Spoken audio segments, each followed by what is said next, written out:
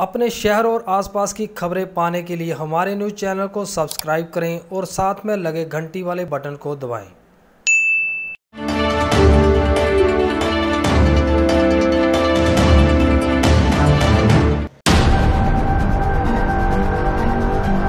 अमृतसर के GT road पर गुरदासपुरिया ढाबे के बाहर गुप्त सूचना के आधार पर बीएसएफ और एसटीएफ ने एक ऑपरेशन के दौरान तीन युवकों को गिरफ़्तार कर उनके पास से भारी मात्रा में हथियार बरामद किए। एसटीएफ ने तीनों पर मामला दर्ज कर जांच शुरू कर दी है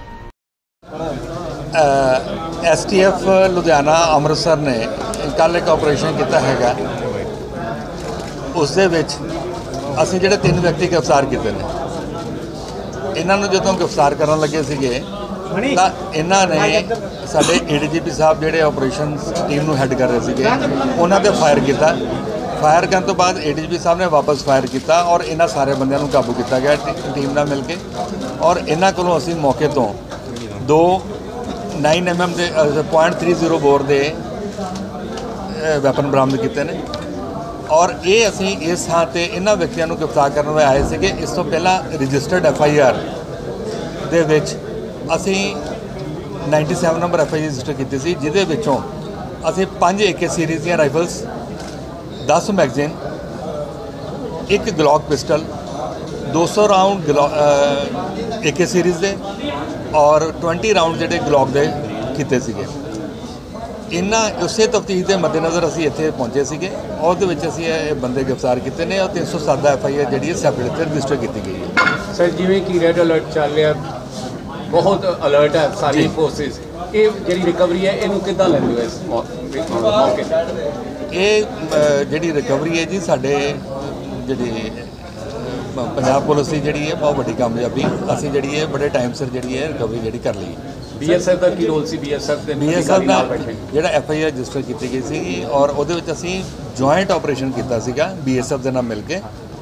ਜਿਹਦੇ ਵਿੱਚ ਅਸੀਂ ਇਹ ਰਿਕਵਰੀ ਕੀਤੀ ਸੀਗੀ ਜਿਹੜੀਆਂ ਮੈਂ ਤੁਹਾਨੂੰ AK47 ਦੀ ਐਂਡ ਬਾਕੀ ਰਿਕਵਰੀ ਦੱਸੀ ਹੈਗੀ। ਹੈ। ਔਰ ਇਹ ਸਾਂਝੇ ਸਾਂਝੇ ਬੀਐਸਐਫ ਦੇ ਤੇ ਐਸਟੀਐਫ ਦੇ ਸਾਂਝੇ ਬਿਆਨ ਕਰਕੇ ਹੀ ਹੋਇਆ ਸੀਗਾ। ਔਰ ਇੱਥੇ ਜਿਹੜਾ ਐਫ ਆਈ ਆਰ ਰਜਿਸਟਰ ਕੀਤੀ ਗਈ ਹੈ ਇਹਦੇ ਵਿੱਚ ਐਸਟੀਐਫ ਬਾਰਡਰ ਐਸਟੀਐਫ ਲੁਧਿਆਣਾ ਨੇ ਇਹਦੇ ਉੱਪਰ ਜਿਹੜੀ ਕਾਰਵਾਈ ਕੀਤੀ ਹੈ। ਸਰ 24 ਸਰ, ਤਰੀਕ ਨਸ਼ਿਆਂ ਦੇ ਨੱਥ ਪਾਉਣ ਲਈ ਐਸਟੀਐਫ ਵੱਲੋਂ ਬਹੁਤ ਉਪਰਾਲੇ ਕੀਤੇ ਜਾ ਰਹੇ ਹਨ।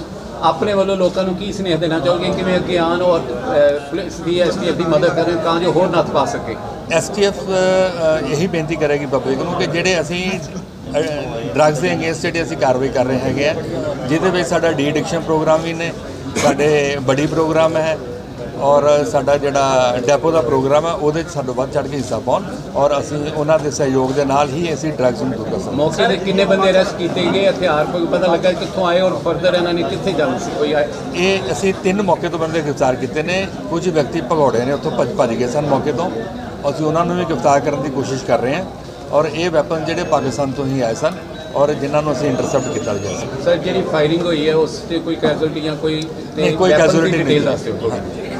ਵੈਪਨਸ ਦੇ ਵਿੱਚ ਦੱਸਿਆ ਕਿ ਪਹਿਲਾਂ ਪੰਜ ਏਕੇ ਸੀਰੀਜ਼ ਦੀਆਂ ਨੇ, ਸ਼ਾਇਦ ਏਕੇ 74 ਏਕੇ 74 ਹੈਗੇ ਹੈ ਜੀ ਇਸ ਤੋਂ ਇਲਾਵਾ ਇਹਨਾਂ ਦੇ 10 ਮੈਗਜ਼ੀਨ ਨੇ ਔਰ 200 ਰਾਉਂਡ ਹੈ। ਇੱਕ ਗਲੌਕ ਪਿਸਟਲ ਹੈ, ਉਹਦੇ ਨਾਲ ਦੋ ਮੈਗਜ਼ੀਨ ਨੇ ਔਰ 20 ਰਾਉਂਡ ਜਿਹੜੇ ਬਰਾਮਦ ਕੀਤੇ ਸੀਗੇ। ਇੱਥੋਂ ਜਿਹੜੇ ਮੌਕੇ ਤੋਂ ਬਰਾਮਦ ਕੀਤੇ ਗਏ ਨੇ 30 ਬੋਰ ਦੇ ਅਸੀਂ ਇਹਨਾਂ ਕੋਲੋਂ ਦੋ ਪਿਸਟਲ ਬਰਾਮਦ ਕੀਤੇ ਨੇ 64 ਰਾਉਂਡ ਬਰਾਮਦ ਕੀਤੇ ਸਰ 24 ਨੂੰ ਜਿਹੜੀ ਰਿਕਵਰੀ ਕੀਤੀ। ਜਿਹੜਾ ਲੋਕਲ ਪੁਲਿਸ ਹੈ ਉਹਦੀ ਸਹਾਇਤਾ ਜਿਹੜੀ ਆ ਉਹ ਮਤਲਬ ਬਾਹਰ ਰੱਖਿਆ ਅਸੀਂ ਗਿਆ। ਨਹੀਂ ਜੀ ਇਹ ਨਹੀਂ ਕੀ ਨਹੀਂ ਲੀਕੇਜ ਦਾ ਬ- ਡਰ ਬਾਹਰ ਸੀ? ਨਹੀਂ ਜੀ ਨਹੀਂ। ਜਿਹੜੇ ਲੋਕਲ ਆਫੀਸਰ ਸਨ ਉਹ ਲੂਪ ਦੇ ਵਿੱਚ ਸਨ। ਉਹਨਾਂ ਨਾਲ ਪੂਰਾ ਪਹਿਲਾਂ ਹੀ ਦੱਸ ਦਿੱਤਾ ਗਿਆ ਸੀ ਕਿ ਉਹਨਾਂ ਨਾਲ ਕੌਨਫੀਡੈਂਸ ਲੈਣ ਤੋਂ ਬਾਅਦ ਹੀ ਸਾਰਾ ਕੁਝ ਕੀਤਾ। ਪਰ ਇੱਕ ਸਰ ਲੋਕਲ ਉੱਥੇ ਬੰਦਾ ਹੈ ਜਿਹਨੂੰ ਕਿ ਵਾਪਸ ਭੇਜ ਦਿੱਤਾ ਗਿਆ ਉਹਦਾ ਪਿਸਟਲ ਲੈ ਕੇ। ਅੱਛਾ ਪਿਆ ਵੀ ਨਹੀਂ ਜੀ ਨਹੀਂ। ਉਹ ਕੋਈ ਸਿਵ- ਸਿਵਲ ਦੇ ਵਿੱਚ ਕੋਈ ਉੱਥੇ ਆਵੇਗਾ ਅਸੀਂ ਚੈੱਕ ਕਰਨਾ ਆਇਆ ਨਹੀਂ, ਉਹ ਡਿਪੈਂਡ ਕਰਦਾ ਹੈਗਾ 24 ਨੂੰ ਜਿਹੜੀ ਰਿਕਵਰੀ ਹੋਈ ਸੀ ਐਸਟੀਐਫ ਨੇ ਤਦ ਨੂੰ ਡਿਸਕਲੋਜ਼ ਕਿਉਂ ਨਹੀਂ ਕੀਤਾ? ਅੱਜ ਇੰਨੇ ਦਿਨਾਂ ਬਾਅਦ ਡਿਸਕਲੋਜ਼ ਕਰ ਰਹੇ ਆ। ਦੇਖੋ ਡਿਸਕਲੋਜ਼ ਕਰਨਾ was not required it was not required ਠੀਕ ਹੈ ਜੀ? ਔਰ ਕਿਉਂਕਿ ਅਸੀਂ ਆਪਣੀ ਇਨਵੈਸਟੀਗੇਸ਼ਨ ਕੰਪਲੀਟ ਕਰਨੀ ਵਾਸ ਮੋਰ ਇੰਪੋਰਟੈਂਟ ਡਰੋਨ ਨਾਲ ਆਏ ਹਥਿਆਰ ਉਹਨਾਂ ਨਾਲ ਕੋਈ ਲਿੰਕ ਹੈਗਾ ਨਾ? ਹਾਂਜੀ। ਜਿਹੜੇ ਡਰੋਨ ਰਸਤੇ ਆਏ ਹਥਿਆਰ ਉਹਨਾਂ ਨਾਲ ਨਹੀਂ ਉਹਦੇ ਬਾਰੇ ਮੈਂ ਕੋਈ ਕਮੈਂਟ ਨਹੀਂ ਕਰੂੰਗਾ ਜਿਹੜੀਆਂ ਏਜੰਸੀਜ਼ ਕਾਊਂਟਰ ਇੰਟੈਲੀਜੈਂਸ ਨਾਲ ਅਸੀਂ ਐਸੋਸੀਏਟ ਕਰ ਰਹੇ ਹਾਂ 4 ਸਾਰਿਆਂ ਕਿਲੋ ਨਾਲ ਹੈਰੋਇਨ ਗੱਲ ਦੀ ਰਿਕਵਰੀ ਦੀ ਵੀ ਨਾਲ ਗੱਲਬਾਤ ਹੋਈ ਸੀਗੀ ਕਿ 4 ਕਿਲੋ ਨਹੀਂ ਅਜੇ ਅਜੇ ਤੱਕ ਅਜੇ ਤੱਕ ਵਿੱਚ ਕੋਈ ਹੈਰੋਨ ਦੀ ਰਿਕਵਰੀ ਨਹੀਂ ਹੋਈ। ਸਰ ਜਿਹੜੀ 5 ਕੇ 74 ਸੀ ਕੀਤੀ ਉਹਨਾਂ ਅਰੈਸਟ ਕੋਈ ਨਹੀਂ ਇਹੀ ਬੰਦੇ ਨੇ ਜੀ ਇਹੀ ਉਹਦੇ ਤੇ ਅਰੈਸਟ ਪਾਈ ਹੈ। ਹੁਣ ਉਹਨਾਂ ਉਸੇ ਕੇਸ ਵਿੱਚ ਇਹਨਾਂ ਦੀ ਅਰੈਸਟ ਪਾ ਕੇ ਅਸੀਂ ਮੋਹਾਲੀ ਐਸਟੀਐਫ ਪੁਲਿਸ ਸਟੇਸ਼ਨ ਜਿਹੜਾ ਐਫਆਈਆਰ ਰਜਿਸਟਰ ਸੀਗਾ ਇਸ ਲਈ ਅਸੀਂ ਮੋਹਾਲੀ ਕੋਰਟ 'ਚ ਉਹਨਾਂ ਨੂੰ ਪੇਸ਼ ਕਰਨ ਭੇਜਿਆ। ਸਰ ਕਿੰਨੇ ਬੰਦੇ ਫੜੇ ਨੇ ਤੇ ਕਿੰਨੇ ਫਰਾਰ ਹੋਏ ਨੇ। ਪਾਕਿਸਤਾਨ ਤੋਂ ਹਥਿਆਰ ਆਏ ਪਾਕਿਸਤਾਨ ਦੇ ਕਿੰਨੇ ਬੰਦੇ ਫੜੇ ਤਿੰਨ ਬੰਦੇ ਫੜੇ ਗਏ ਖਾਲਸਾ ਫੋਰਸ ਨੇ ਉਹਨਾਂ ਨਾਲ ਸੰਬੰਧਿਤ ਸੰਬੰਧ ਨਹੀਂ ਇਹ ਅਸੀਂ ਇਨਵੈਸਟੀਗੇਸ਼ਨ ਚੱਲ ਰਹੀ ਹੈ ਜੇ ਸਾਡੀ ਇਨਵੈਸਟੀਗੇਸ਼ਨ ਤੋਂ ਬਾਅਦ ਦੱਸਾਂਗਾ ਕਿ ਅੱਜ ਰਿਮਾਂਡ ਲਏਗਾ ਮਿਲੇਗਾ ਸਾਨੂੰ। ਔਰ ਅਸੀਂ ਰਿਮਾਂਡ ਦੇ ਦੌਰਾਨ ਹੀ ਜੋ ਸਾਹਮਣੇ ਗੱਲ ਆਏਗੀ ਤੁਹਾਨੂੰ ਦੱਸਾਂਗੇ। ਸਰ ਹਥਿਆਰ ਚਵੀ ਦਿਨ ਫੜੇਗੇ ਜਿਹੜੀ ਸਰ ਹਥਿਆਰ ਫੜੇ ਚਵੀ ਦਿਨ ਫੜੇ ਹਾਂਜੀ ਹਾਂਜੀ। ਇਹ ਜੀ ਡਰੋਨ ਵਰਤਿਆ ਗਿਆ ਨਾ ਨਹੀਂ ਜੀ ਡਰੋਨ ਬਾਰੇ ਮੇਰੇ ਕੋਲ ਨਹੀਂ ਇਨਪੁਟ ਕੋਈ ਵੀ ਹੈਗੀ। ਸਾਡੇ ਮੈਨੂੰ ਆਪਣੇ ਆਪਰੇਸ਼ਨ ਬਾਰੇ ਮੈਂ ਦੱਸ ਸਕਦਾ। ਹਾਂ ਇਹ ਕਿੱਦਾਂ ਆਏ ਸੀ? ਇਹ ਐਗਜ਼ੈਕਟ ਲੋਕੇਸ਼ਨ ਉਹ ਉੱਥੇ ਕੰਸੀਲ ਕੀਤੇ ਹੋਏ ਸੀਗੇ। ਅਸੀਂ ਉੱਥੋਂ ਡਿੱਗ ਕੀਤੇ। ਹੋਏ। ਪਾਰ ਸੀਗੇ ਜਾਂ ਤਾਰੋਂ?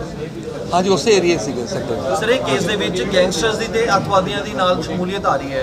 ਦੋਵਾਂ ਦੀ ਜਿੱਦਾਂ ਕਹਿ ਕਹਿ ਰਹੇ ਹੋ। ਕੁਝ ਹੋਰ ਵੀ ਇਨਪੁਟਸ ਹੈਗੀਆਂ ਕਿ ਹੋਰ ਵੀ ਗੈਂਗਸਟਰਸ ਇਦਾਂ ਇਨਵੋਲਵ ਹੋ ਰਹੇ ਨੇ ਅੱਤਵਾਦੀ ਦੇਖੋ ਇਹਦੀ ਗੱਲ ਇਸ ਤਰ੍ਹਾਂ ਜੀ ਪਤਾ ਕੁਝ ਗੱਲਾਂ ਜਿਹੜੀਆਂ ਹੁੰਦੀਆਂ ਨੇ ਉਹ ਸਿਰਫ ਅ, ਇੱਕ ਦੋ ਘੰਟੇ ਦੀ ਪੁੱਛਗਿੱਛ ਸਾਹਮਣੇ ਨਹੀਂ ਆਉਂਦੀਆਂ। ਸਾਨੂੰ ਲੌਂਗ ਰਿਮਾਂਡ ਦੀ ਜ਼ਰੂਰਤ ਹੈ। ਅਸੀਂ ਲੌਂਗ ਰਿਮਾਂਡ ਡਿਮਾਂਡ ਕਰ ਰਹੇ ਹਾਂ। ਔਰ ਉਹਦੇ ਵਿੱਚ ਸਾਨੂੰ ਡੇ ਟੂ ਡੇ ਜੋ ਸਾਨੂੰ ਪ੍ਰੋਗਰੈਸ ਮਿਲੇਗੀ ਅਸੀਂ ਜ਼ਰੂਰ ਤੁਹਾਡੇ ਨਾਲ ਸ਼ੇਅਰ ਕਰਾਂਗੇ। ਕਿੱਦਾਂ ਪਤਾ ਲੱਗਾ ਕਿ ਉਹ ਕਨਸਾਈਨਮੈਂਟ ਇਹਨਾਂ ਦੋਸ਼ੀਆਂ ਦੀ ਇਨਫੋਰਮੇਸ਼ਨ ਜਿਹੜੀ ਹੈਗੀ ਜੀ, ਇਹਨਾਂ ਨੇ ਵੀ ਰਿਵੀਲ ਕੀਤਾ ਹੈਗਾ, ਸਾਡੇ ਕੋਲ ਟੈਕਨੀਕਲ ਇਨਪੁਟਸ ਵੀ ਹੁੰਦੀਆਂ ਨੇ।